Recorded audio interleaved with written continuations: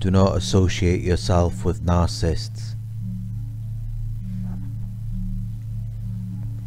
I'm going to talk about why you should not associate yourself with narcissists or cluster B personalities. I'm not just talking about your partners. I'm talking about family, friends, work associates. Do not associate yourself with them. I do not associate myself with any narcissists or cluster B personalities. Of course there are times when you are going to have to deal with them, but only talk is needed.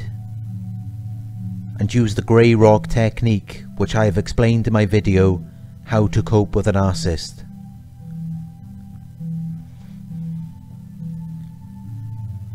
So why do I not associate myself with narcissists? I don't want negativity in my life. I don't want their negative energy, hate, anger, envy, and jealousy. Narcissists feel inferior around us and feel compelled to devalue or destroy our lives. They are a danger to our self-esteem, self-worth and self-belief.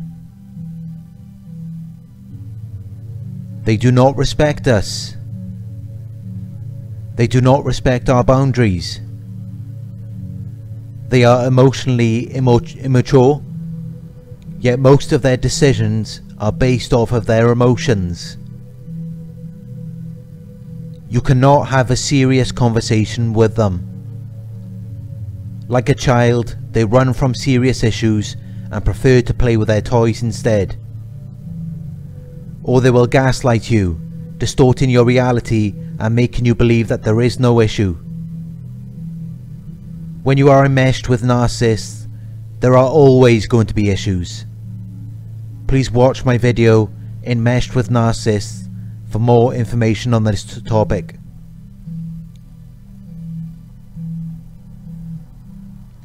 Ask yourself, what are you going to get from dealing with these types of people? They have nothing to offer you. Nothing good anyway. Yet they have a long list of negative traits and behaviours to bring into your life. They will abuse and manipulate you. They will gaslight you and distort your reality. They will devalue you and make you believe that there is something wrong with you. All they can give you is material things or empty, fake, physical affection. If the narcissist gives you money, it will never be as much as you really want and it will never be as often as you would like. If they give you physical affection, it will feel fake and empty because they do not have the emotional capabilities or maturity to develop a deep emotional connection with you. Any physical affection they do give to you will always have an agenda behind it and will always be for their own benefit because they are self-absorbed. So there really is nothing good they have to offer you. Narcissists will abuse you emotionally and even physically and sexually. They will stalk and harass you. They will use coercive manipulation and various forms of mind control. They are always involved in some form of illegal activity. They are always involved in some form of illegal activity. Narcissists are prone to stalking their victims and developing a, an obsession or addiction to them. Stalking alone is illegal in almost every country in the world. In the UK you will get 5 years behind bars for doing that and that's just one charge, excluding all of the other illegal activities they engage in. Narcissists are dangerous criminals. They have no respect for your boundaries, they have no respect for your health, they have no respect for the law, they have no respect for the community. Do you really want to associate yourself with them? If you ever feel like you want to go back to your narcissistic partner, family, friends, or work associates, just remember what these people are. What they are doing is not only immoral, it's against the law. They are dangerous criminals. People like this do not belong on our streets. They are dangerous and a serious threat to our health and our lives. And I'm not saying that I automatically disrespect anyone who has ever broken the law. I'm sure we all have at some point in our lives.